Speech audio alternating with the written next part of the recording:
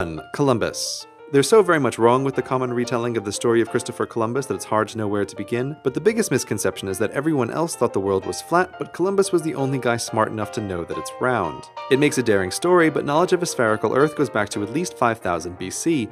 That's six and a half thousand years before Columbus set sail. And that knowledge was never lost to Western civilization. In 200 BC, Eratosthenes calculated the Earth's circumference, and his estimate was still well known and being used during Columbus's time. The argument Columbus had with Queen Isabella was not over the shape of the Earth, but of its size. Columbus estimated the Earth was much smaller than Queen Isabella and her scientific advisors did, which was why he thought he could make it across the empty Atlantic to India. But Columbus's size estimate was wrong, again, just like Napoleon's height because of mixed up units. However, this mistake did send him west to become the first European to discover America, as long as you ignore the Hornless Vikings who beat him by 500 years.